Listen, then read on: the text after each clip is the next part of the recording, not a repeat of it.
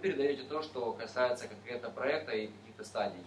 Research, э, модель, ну, видение продукта, э, его архитектура, э, стратегия развития в виде MVP секции, других, например, там развития каких-то стадийность, потом уже представление какое-то потока, представление более детализировано уже в виде каких-то потоков, ну то есть user flow в виде скетчей, эскизов, варфреймов и так далее.